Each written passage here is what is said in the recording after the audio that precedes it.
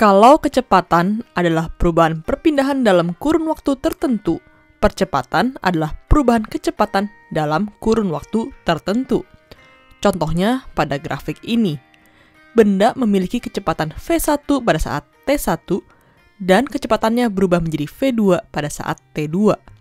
Perubahan vektor di sini adalah percepatan A. Percepatan ini secara matematis adalah A sama dengan delta V per delta T.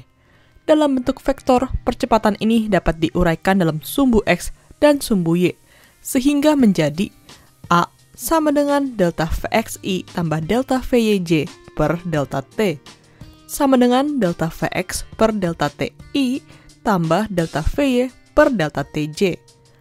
Dan seperti pada kecepatan, delta Vx per delta T adalah Ax dan delta Vy per delta T adalah AY, sehingga percepatan ini menjadi A sama dengan AXI tambah AYJ. Besarnya percepatan rata-rata ini adalah A sama dengan akar AX kuadrat tambah AY kuadrat.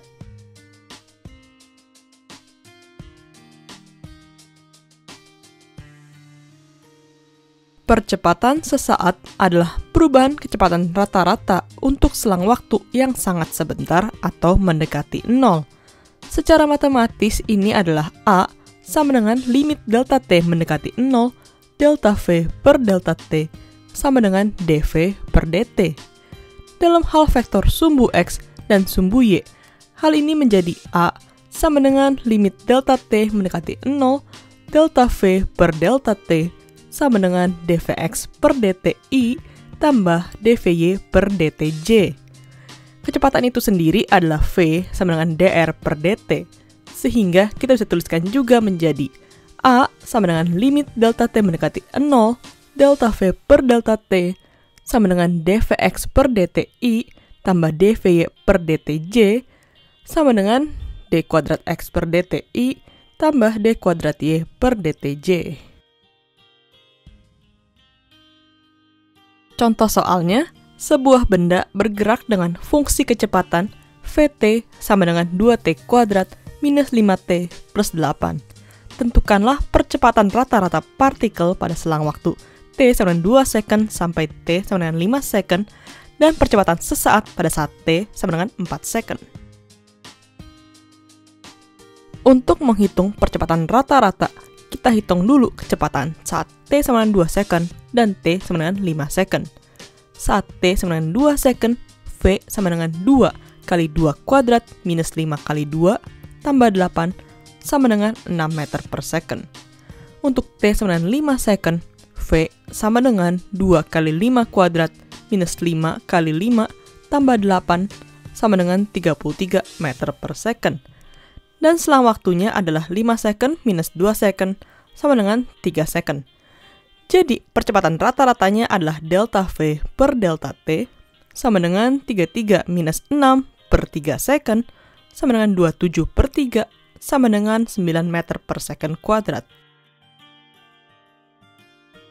Untuk menghitung percepatan sesaat, kita cari fungsi turunan pertamanya.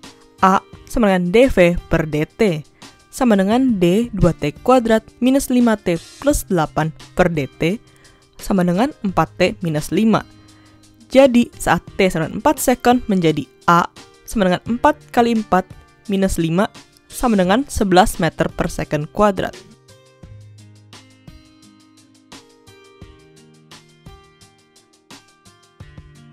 Sama halnya dengan fungsi posisi dari kecepatan, kecepatan dapat diperoleh dengan integral dari percepatan. V sama dengan V0 tambah integral 0 sampai T A dt. Kalau secara grafik percepatan seperti ini, integral ini adalah luas di bawah grafik yang berarti adalah besarnya kecepatan.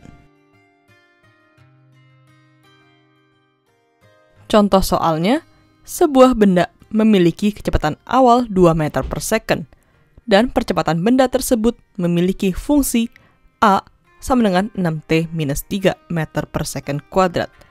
Tentukanlah fungsi kecepatan benda dan kecepatan benda saat T sama dengan 4 second. fungsi kecepatan V adalah V sama dengan V0 tambah integral A dt sama dengan 3 tambah integral 6T minus 3 dt sama dengan 3 plus 3T kuadrat minus 3T.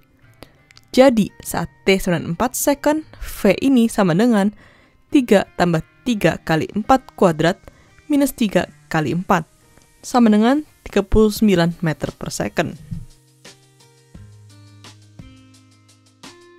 Ada pertanyaan? Langsung email aja ke smarterindo.yahoo.com atau bisa ke Facebook atau ACFM.